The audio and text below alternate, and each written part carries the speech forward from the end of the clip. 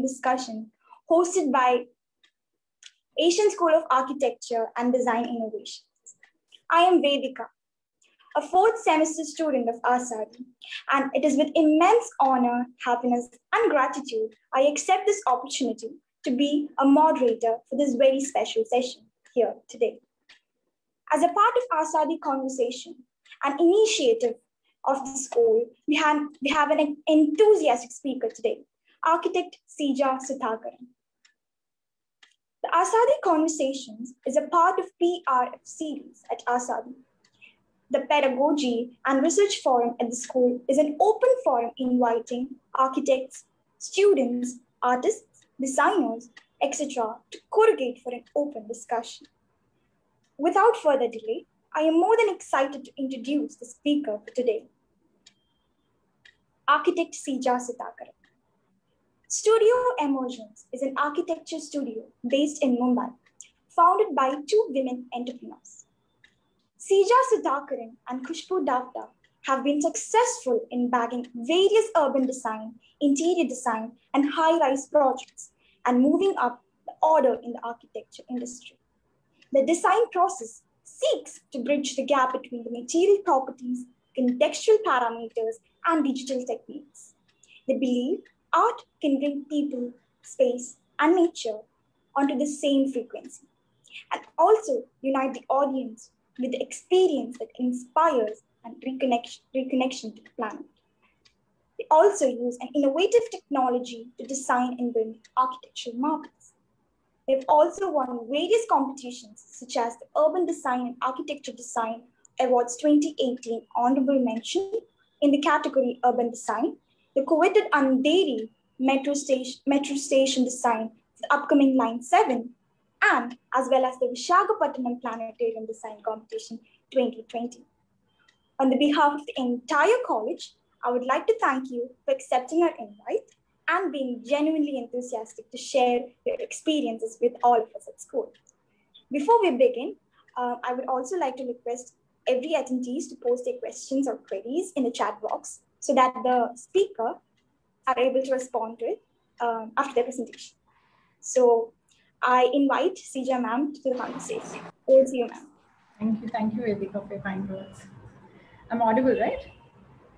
Yes, ma'am. Yes. Okay, great. So we are going to have a very informal session today. I think all of us are you are students here. So uh, feel free to ask whatever you all want to. What we have done today after speaking to Pratik also, what we decided is that I'll just showcase to one project of ours which uses the techniques of parametric design and innovation and uh, the major idea today is going to be to uh, explore so that you guys can explore what parametric architecture is like because you all are all undergraduate students and this is the right time to be exposed to this kind of design techniques and at the same time to understand what happens in the Indian context. So most of the times we look at beautiful references which are in the West and uh, the idea that it can also happen in India becomes a little difficult for anybody to swallow. So this is one of the points where we can bridge that gap and you guys can understand how a young dynamic firm also is thriving in today's climate and uh, trying to, you know, get these new techniques in India and actually implementing them. We are working on ground and implementing a lot of these things.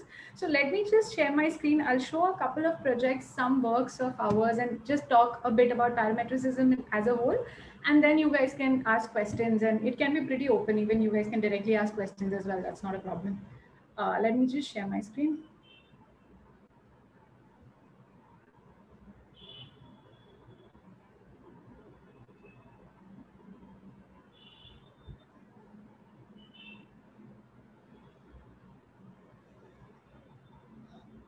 Vedika, the screen is visible, right? Yes, ma'am, it is. Uh, so there are uh, just i would just like to briefly talk about emergence as our name suggests also uh, emergence is a whole topic that's very close to our hearts. Like we have really you know studied that in in depth and uh, we've always tried to do projects also wherever we have the creative freedom to do projects that are actually central to the idea of emergence and uh, self organization uh, in nature. So when we talk about emergence as a whole it generally just talks about emergent systems in nature uh, like everybody must have already seen like a school of fish or uh, birds flocking in the air. And then you know you see these beautiful ephemeral patterns which never last. They are always fleeting. They are always moving. But there's a lot of science behind this particular movement.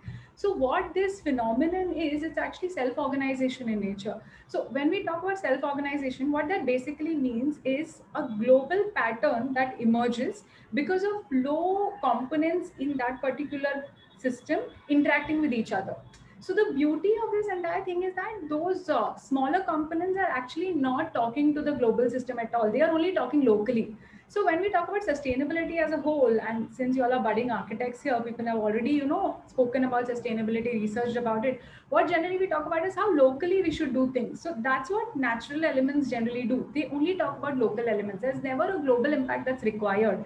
But what happens when you actually have uh, elements interactive locally is that a global pattern generally emerges out of it. So that is the whole phenomenon of emergence. Uh, when we talk about emergence, there are a lot of emergent patterns in nature. They doesn't need to be completely like only living organisms. There's also sand dunes.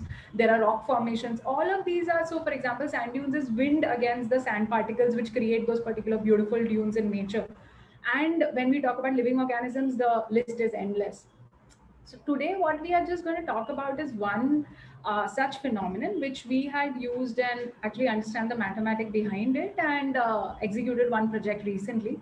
So this particular uh, uh phenomenon is called murmurations. The installation for us also is called murmurations.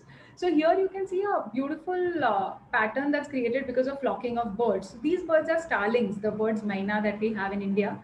So they generally flow in these patterns and uh, what happens in this particular thing is that uh, there is a certain mathematics that is behind this movement pattern that they have. And to be honest it's not really very big. It's a very simple rules that, they have because uh, these organ organisms are really not that intelligent or cognitive what happens is that they have very basic rules that they have to follow and they only follow that. They do not talk with a global system as a whole. They only talk to six birds around them. And the rule set that they have to follow is that of separation alignment and cohesion.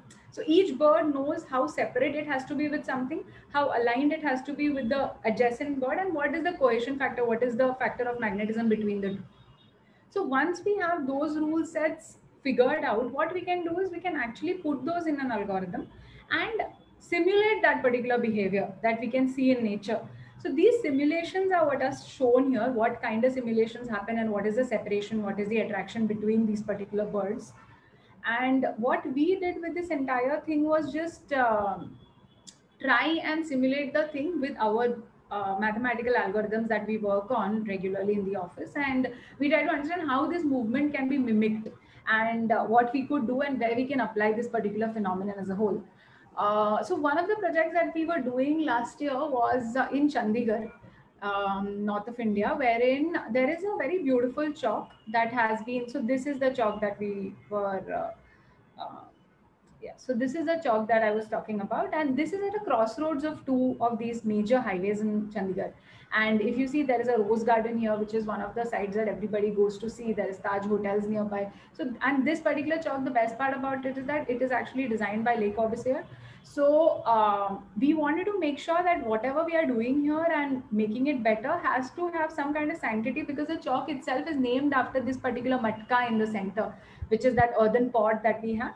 So this chowk itself is called matka chowk so we were very clear on what we wanted to do and how we wanted to actually retain uh, architect Le Corbusier's vision and not, uh, you know, really botch it in the uh, process of making something more beautiful. So one of the first decisions that we made was to retain the matka as it is, to elevate it, but not really play with it much because we wanted to make sure that the matka remains the focal point of the matka chowk. We didn't want to take it away from that. And that being said, one concept that holistically goes with water and matka is that it it usually quenches somebody's thirst. Like if you have a matka in the house, then that's where you drink your daily water from.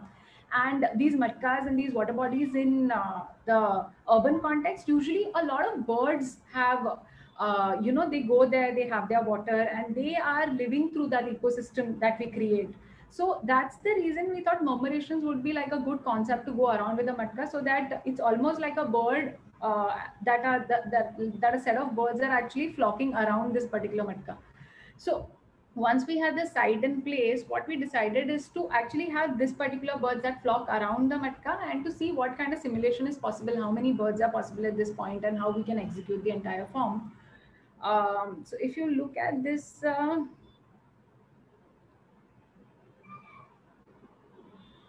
sorry, yeah. Um, if we look at this particular uh, experiment, this is actually simulating birds that are coming inside this particular shape. So we had this huge 100 meter dia of this particular uh, chowk, which was uh, in which the birds are flocking, and we wanted to simulate and understand what kind of patterns can be created. So this is something that we ultimately ended up with, wherein this swirling pattern of birds that is going around the matka was possible. So these are some of the renders of you know what the structure looked like. Um, so one thing that we, we wanted to stress upon is the workability of the entire thing because we wanted to make sure that this is going on board and you know we can uh, uh, convince the authority to be doing this particular thing and make this holistically the way our renders look. We didn't want to compromise in some manner or the other. And uh, once we started prototyping this, we understood there's so many uh, issues that can come up while we started prototyping this thing because the tallest bird was something around six meters. So that's like two floors of a building. And the shortest was something around um, two meters odd. So we wanted to be very sure that this entire installation works together. There's a lot of wind velocity in this particular place because it's open. There are four roads on all the sides and this is a highway. So the cars that come and actually rotate around this particular chowk is going at a very high speed. So it almost becomes like a tunnel effect in the center. So having these steel rods in the center of this was like a like something that we wanted to be very sure of. These are the view angles of the particular installation so we were also making sure that whenever there are roads that are intersecting, there is one major thing that you have to be very careful of, which is the vision. So people have to be able to see where they are going and where this particular thing moves. Like your car is going, and you don't want something obstructing your entire vision in front of you. So that's one of the reasons that we were working along with the elevations to understand that each of those vision lines are kept open. And ultimately, this is the form that we came up with. Um, some of the prototypes that we worked upon, we've done like umpteen number of prototypes in this, actually done uh, these prototypes that were installed on a ground to check if, you know, uh, the wind, what the wind does to these things, because these are long rods that don't have a lot of anchors. So how does that work? Uh, there are some beautiful birds going on top of this prototype. So that was a good moment. Um, one of these things, so this I've already spoken about the average height and this thing. So the engineering that went behind the birds were also like pretty interesting. One of the things that we had to do was insert this particular spring in the center here because uh, whenever there is this force of the bird, because this bird has a huge wingspan, and because this around one and a half to two feet of wingspan that it had, and some of the birds, so there are around 350 birds in this particular thing. Each bird is varying in size, shape, and height so we had to work with individual 350 elements to make sure that that kind of difference is seen in that particular installation. It doesn't, uh, and it actually conveys the real scenario that is there out there and not something that is uniform and just pressed onto certain things. So uh, one of these things was the weight of this particular huge board. How does the rod take that? So one particular engineering thing that we did was to add a spring which can take the recoil effect of the bird. So if the bird starts moving, the rod doesn't move, the spring moves, and after that the rod moves. So the effect that it comes onto the rod is much lesser because of this particular thing. Then the next thing that we started doing was uh, actually putting some holes and apertures inside the birds to make the birds more lighter. So we had to do a lot of experiments with the grade of steel that we use, what is the shape, the grade of the rods that we use. So ultimately we ended up using 1.25 inch dia rod. So these were pretty small rods. They were not thick at all so that the vision is still there because if we use these bulky rods, then again, uh, the installation look goes for a toss. Uh, this module again underwent a lot of stress loads. We made sure that whatever wind velocity comes into it, the birds are not affected and in turn the rods are not affected. So there's a lot of these uh, engineering principles that went into it. So one of the things because of which i wanted to show this project is also that architects today no longer just talk about buildings. They are they, it doesn't necessarily mean that buildings is the only thing that we talk about. There's a lot of other uh, facets also out there that people can explore which is like installations which is engineering. So we do a lot of engineering based things in the office as well. Um, this is one of the renders for the illumination and uh, this is the actual chowk. So this is the matka in the center and these birds that are floating on the installation. So if you see these things that we were looking at on the installation with the renders that we had, it's pretty much mimicking the entire thing similarly. Uh, this particular thing is the whole chowk that we have in the center is the matka. The apertures in the birds and what type of openings were given each of the birds from inside the matka. So the proud moment for us was that we could really keep the sanctity of uh, the great architect like Corbusier's design and only add on to it, which is uh, something that we really try to do, not really destroy what's already there, rather add on to things. So I hope that someday, you know, like our birds are there and somebody else adds on to something ahead of that, in front of that, maybe in the rose garden. So things just like your urban context keeps developing one after the other. It's not destruction, rather it's just addition of things. Uh, this is just a small video of how when you're moving from the space, what it looks like. So there's a lot of, so there are different types of movements that people can create. I don't have, sorry, I don't have a better video of this, which goes all around the chowk. But one of the things that we were trying to simulate is movement of birds. But so there are two type of movements, right? Either you make the birds move or you move yourself. But one of the biggest positives in this space is that it's not actually accessible to pedestrians. It's only going to be viewed from a vehicle. So at any given point, the subject actually the object that's actually viewing the subject is moving so we didn't need to make the subject move as well so without actually actuating the entire installation the installation almost looks actuated because you when you're viewing it you yourself are moving so then you kind of feel that you can see this movement beautiful movement of the birds around the matka in case in reality actually it's you who's moving.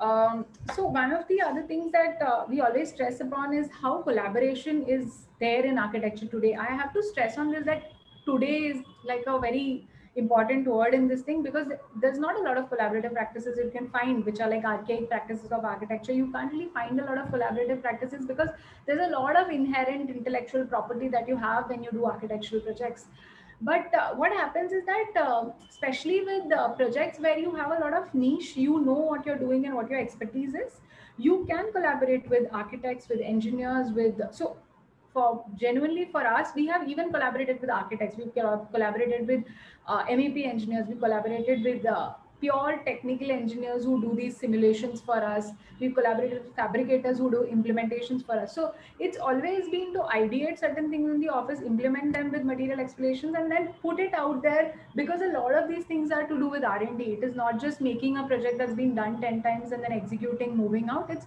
more about research and development and understanding what works, what doesn't work. So we try to mimic the entire thing of uh, nature and emergent systems even in the office and even in the projects that we try to do so one such example I would just like to show because it's pretty close to us that uh, how these uh, form finding systems, self-organizing systems and emergent systems in nature can be mimicked into marvelous architectural forms. It always doesn't need to be intuition. It can be, you know, parameter based or, or rule set based architecture as well. So this particular arch that you see is Sagrada Familia in Barcelona.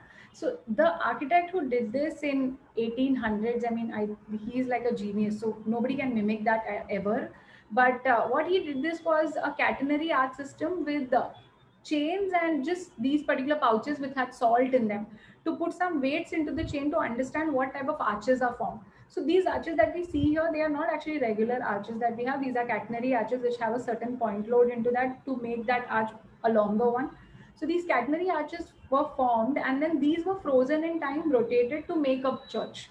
So once uh, he unfortunately passed away 50 years into the construction of this, and then the construction had to be completely halted. There was no way that this could be constructed because no other human being actually had the brain to compute this kind of complex forms in the early 1900s. So what happened the last 20 years when there has been a lot of uh, research and development in computation, in algorithms, in architecture, what has happened is that recently the uh, reconstruction of this entire thing has started. Architect Mark Burry has been looking at this. Uh, and uh, what they have done again is use computational tools to understand and simulate catenary and at the same time use 3D printing to make sure that the molds are correct, the forms are correct, and then make the entire structure. So without these algorithms, there was no way that you know a normal human being could possibly do what Gaudi did like a century ago. And that's what brings us to this you know there's so much advancement in all the other facets of uh, our lives like what mobile phones used to be 10 hours 10 years ago is not what we have today. Everything has been improving. So architecture also at the helm even though it remains like something that we start with sketches and you know you have a lot of uh, art and flair in that but at the end of the day there are a lot of other ways of manifesting form and that's what parametric design tools can do for you um, this is just another the way that the catenary arches are made so these are the type of experiments that we do and uh, you know understand what type of arches can be created and these are the softwares that we use to make sure that you know we can get to a point where we can make complex forms and complex vaults so these kind of things actually take your form and you can put this into an urban context as well. This was for one of the competitions that we did. Uh, so with a lot of collaborative design, there is, so for example, in this slide itself, there is like a product designer that we work with. So this uh, Keenan was a person who was working with us for a project, which was, so he's a marine engineer. So he was working with us for a project, which was a breathable wall. So it has been a fabulous journey such that we have not really stuck and only made walls and you know things that are completely architecture based it has been a lot of self exploration and study in the basis of material explorations and technological explorations so limiting yourself is uh, something that we've tried not to do in the last couple of years of our practice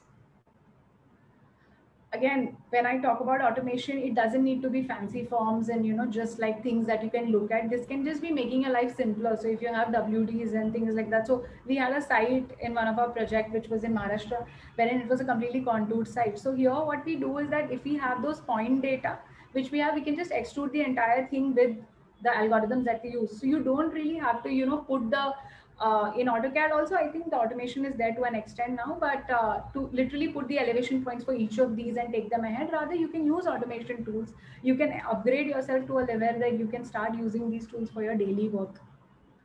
Uh, this is one of the projects that we did recently in uh, Vishakhapatnam, which was again uh, uh a seed that was uh, done based on the morphology that was that we had devised for that particular area. This is in front of the aircraft museum. So the we just wanted something very colorful, like a pleasant surprise in your daily walk. And that's what we did. And um, here is, uh, yeah, here is something. So there's a lot of transparency here as well. So the facade behind was not hidden in any fashion. It was uh, such that people walking around or even uh, the people on the street could still see the facade behind. So it's not like a completely solid surface that we have there. Uh, the other project that I think Vedika had also spoken about was the metro station in Mumbai. I'm not going to delve into it completely, but really uh, different uh, design approaches, but uh, well accepted with people and well accepted from you know the point of view of people wanting to execute these things. So here again, the entire process, this this particular facade was actually derived based on the adjacency because Mumbai is already really dense. I mean, whoever has ever come to Mumbai knows that it's very, very dense. So what happens is that if we had like a superstructure which is going to be just coming and being inserted into your neighborhood fabric without any consideration of what is going to do the adjacent building, then it's a really harsh way to uh, progress. So what we decided is that wherever there are residential buildings around the structure, the hole or the aperture sizes will become smaller. And wherever there is a road junction or a commercial structure, the aperture sizes will become bigger. Because in a residential building, you ultimately do want some kind of privacy when you're in your house and inside the space that you paid a lot of good money to stay. So this is the way that we actually derived onto the entire facade. So there's a lot of these rule-based and parameter-based applications that can happen in architecture such that you are more informed and you have quantifiable data to work upon. It's not a lot of intuition. There is an architect's decision also at the end of the day, but there's a lot of quantifiable data that you end up working with. Um, this is, uh, I'm really not going to stress on this, but another project of ours, which is the planetarium that's going to be coming up in Vishakhapatnam. So this houses a planetarium, a science center, and an auditorium as well for people of Vishakhapatnam. Um, so yeah, I'll just stop sharing. Yeah. So that's uh, that's the presentation. Whatever uh, you know, you guys have questions about, we can have like a candid conversation now.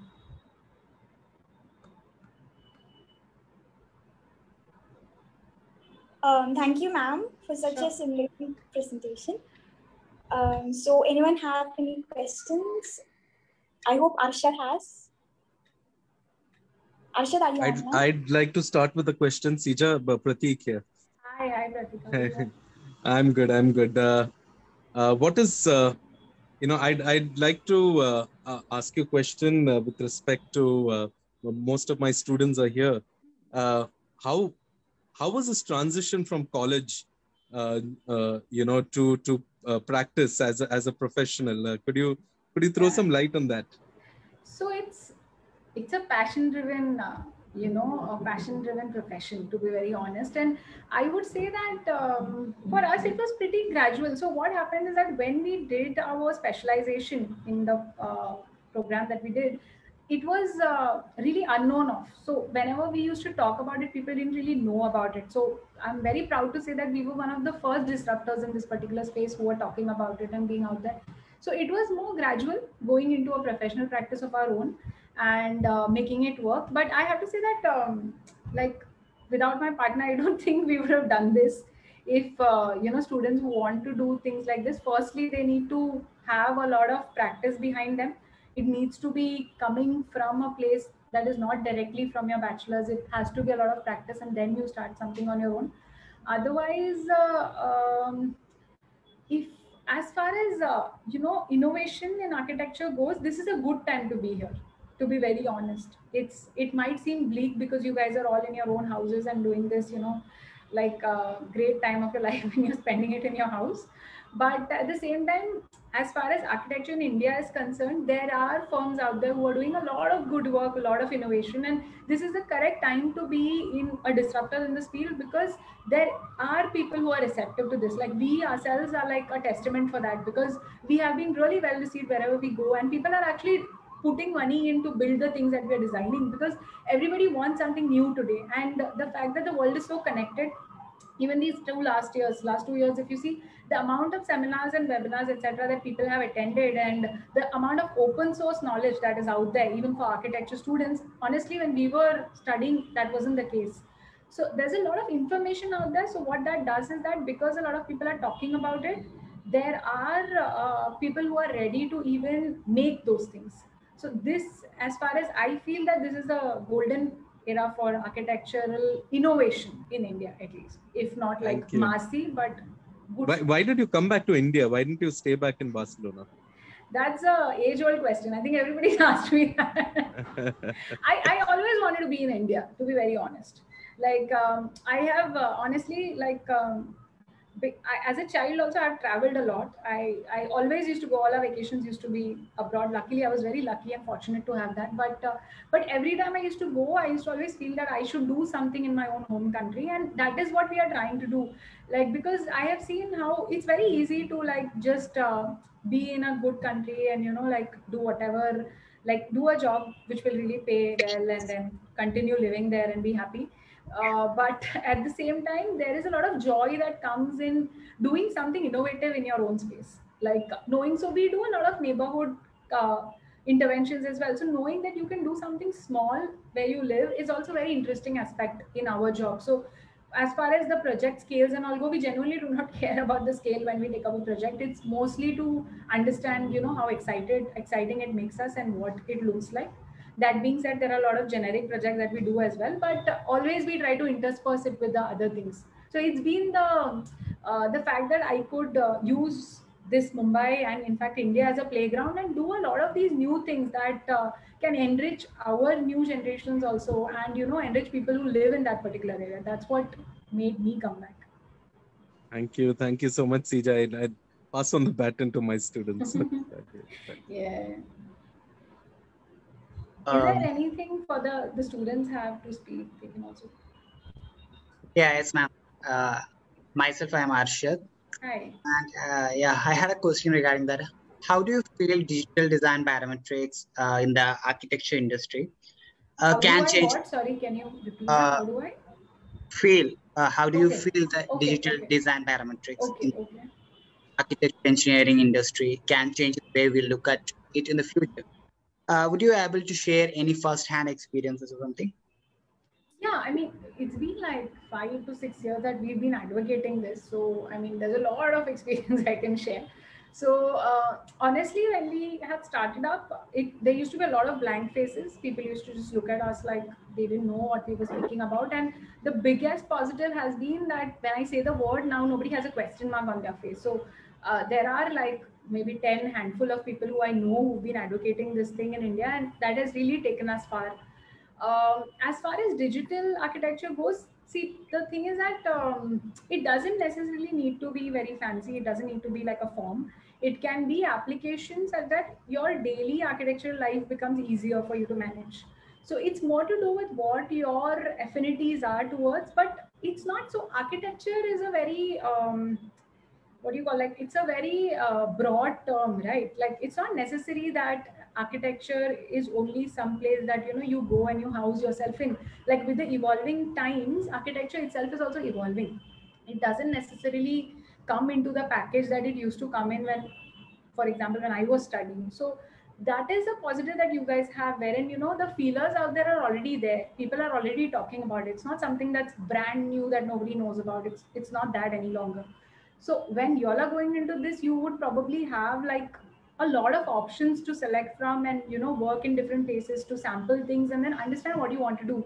You can also go into digital art. You can also go into installations. You can go into research and development. Like unfortunately a lot of research doesn't happen in india which is genuinely unfortunate but there are wings cropping up here and there. There are a lot of fab labs cropping up here and there which helps your cause. Thank you ma'am yeah. Uh, hi ma'am. This is nikita here. Um yeah so i was i just wanted to know like how it is when you have a partner alongside like so do you like constantly review each other or do you like particularly you like you might be addressing certain issues or certain kind of work and she does it separately or, or how is that working? So that's I, I briefly touched this earlier saying that i wouldn't have done it if not for my partner like I, I, she already knows this and uh, Khushbu has been so integral in what we do and because we actually know each other since the last 12 14 years I think. So we are like an extension. She's my arm actually. She's an extension of me and I am an extension of her. So that's the reason it works so beautifully. Like uh, most of the times we are like completing each other's sentences. So it's very easy because if we design together also it's like there's not a lot of clash. So a lot of people don't get that. I was very lucky to have that but uh, uh, that being said, earlier it used to be everything together, like we do all projects together. But as we have grown now, the amount of projects are more than the amount of man hours that each of us can put in into the company. And we have staff also who work for us. We have architects, brilliant team of architects. All of these projects that I've shown you all has not been just me and Khushbu. It has been the architects who have worked with us and put a lot of energy, like these young architects out there, including you guys in a couple of years. I hope that uh, there's so much passion because if you put like passionate projects in front of the architects that we have they are giving a lot back. So it's been like very interesting to work with them as well. So uh, with Khushbu also nowadays we divide. We have reviews a lot of reviews. So there's always like a lot of uh, like to and fro that happens when the design concept stage is on. But once that is on after that there's a lot of like uh, typical client interaction stuff also that you have to do so that's generally done by either of us based on the projects that we do.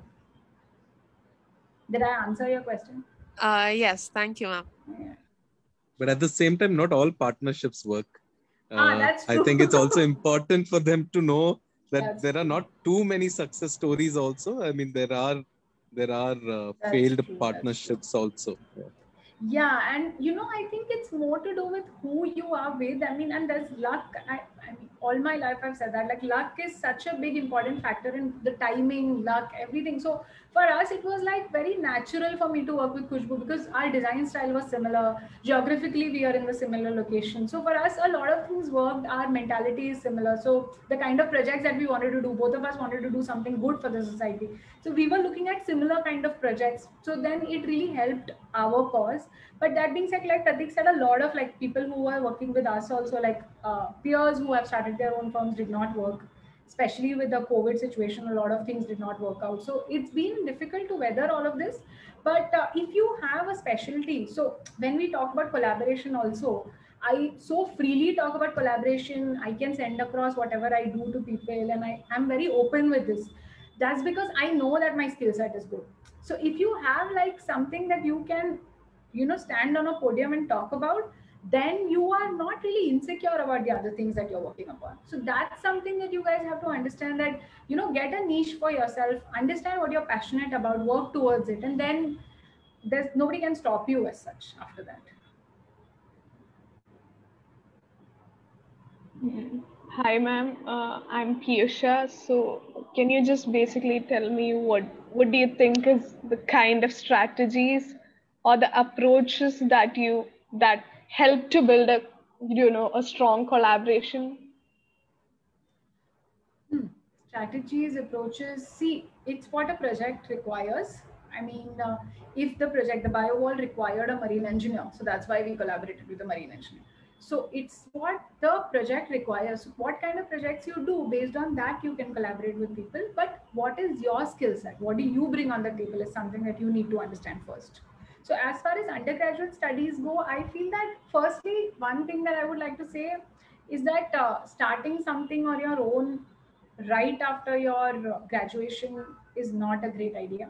It is uh, you should take your time you should work with people you should understand because there's a lot of gaps when you come into the knowledge that you study in your books and you know what you do during your bachelor days versus even your masters even after your masters there has to be a certain amount of time that you practice with somebody who's actually done this. Not the exact kind of thing that you want to do probably in your life but some kind of practice has been done. So you should do it that manner and then understand in collaboration you need to know what you bring onto the table. That's without that there's no collaboration any which way. So there's no strategy as such is what the project requires. Yeah, okay, thank you, ma'am. Sure.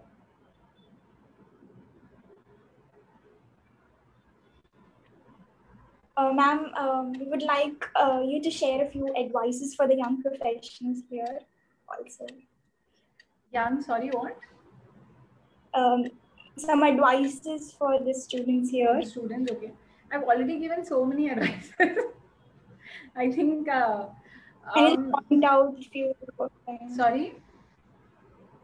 Can you just point out a few of them? You know, just sure. So note, make a note of it. Sure, sure. So one more. Uh, uh, yeah, the, yeah. the also uh, along with your advice to Seeja, on the advice of how to make money in architecture. Also, you know, if uh, yeah, if throw you, some light on that. You know that, then you can tell me also that. Like you probably, you know, after this call, we could just like have a chat ourselves.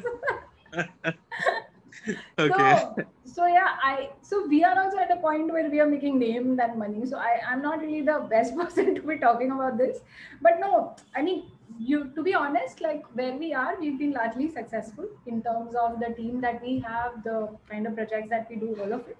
But uh, there's no like secret to what you have to do to make money because architecture is so ephemeral. I mean, to get a project, you have to do so much work, and then there's so many manners that already go into it that things become unfeasible all of a sudden. So there's a lot of these wasted efforts that happen. So I would say like out of 10 efforts that we put in, one will translate. And from that one, then you have to make sure that you do end up making a, a bit of money at the end of the day.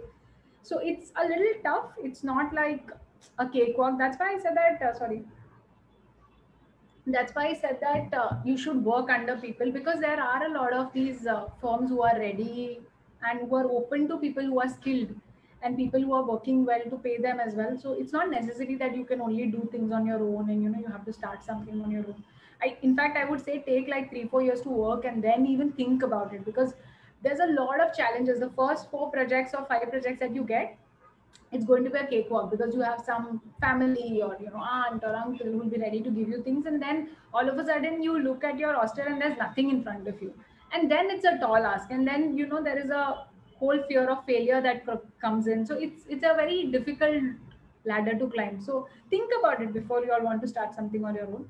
But other than that uh, advices for young architects is um, you know if you're passionate about one thing then do that well you don't have to know everything. You don't have to be like for example the biggest thing i would say is that because we hire and we have so many interns coming in working and also junior architects architects portfolio like something i would like to say on an open forum is make your portfolios really good. Don't have to put wd sheets and so nobody no architect wants to know if you can do wd or you know autocad. I mean that's not the point. Show your personality out there. So for example on a whole i think we get around like 15 20 portfolios a day because during that whole uh, hiring time whenever we put it out there we get so many portfolios so for you to stand out you need to actually put your personality in your portfolio. So if there is one facet of architecture that you love, then do it with all the passion possible and make sure that you are excelling at that. Then you start carving out this particular niche in this broad world of architecture. You know, it's too broad. So start getting something from that and understanding what you like. That is something that I think I have not spoken about earlier.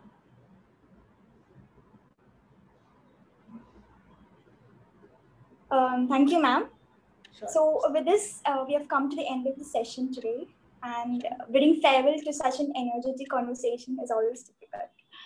But I hope um, we as fellow scholars and students need some good time to reflect upon the plethoras and informations and experiences you have shared, shared with us today.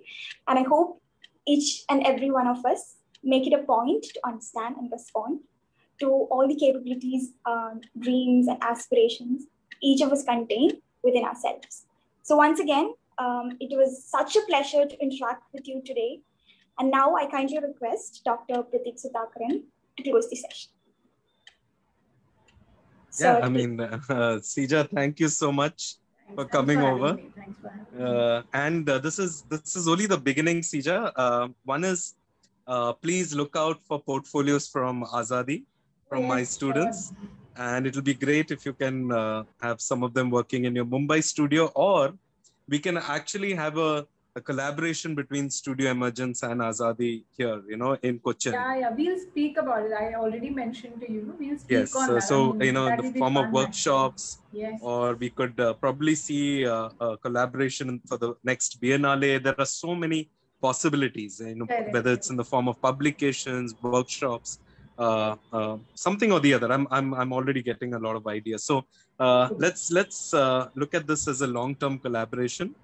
Yes. And we are also setting up an in, industry advisory council at the school, where okay. we are looking at practicing professionals to uh, to kind of mentor our students, and you know, uh, and look at look at how we can improve the employability of our students as mm. they hmm. pass out. Mm-hmm. So whether it's it's self-employment or being employed with someone, or okay. even uh, uh, you know uh, uh the post-graduation or uh, doctoral mm-hmm. studies. Mm-hmm. So uh, let's let's look at the possibilities, Seeja, and yeah, yeah, this is only the beginning. This is only the beginning. Yeah, yeah, same, same. Okay, happy, thank you. Happy to have been here. Okay. Thank you so much. Bye, bye, Take bye. care. Thank bye. You, bye. Vedika. Bye.